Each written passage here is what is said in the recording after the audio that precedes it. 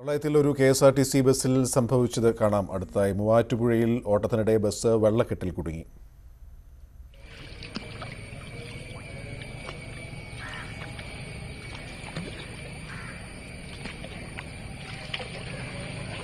K S R T C വെള്ളത്തിൽ മുങ്ങിപ്പോയതാട്ടെ കണ്ടേ.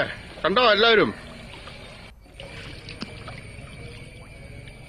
ഈ ബസ് നാട്ടുകാർ ചേർന്ന് വലിച്ചു നീക്കുന്ന video Dean Kuriakose M P ഇന്ന് സമൂഹ മാധ്യമങ്ങളിൽ പങ്കുവച്ചു.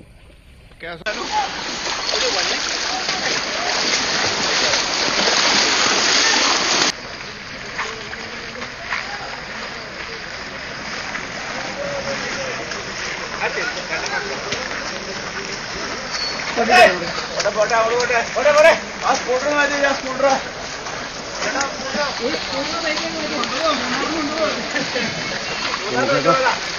啊啊！我这怎么着？我带过来。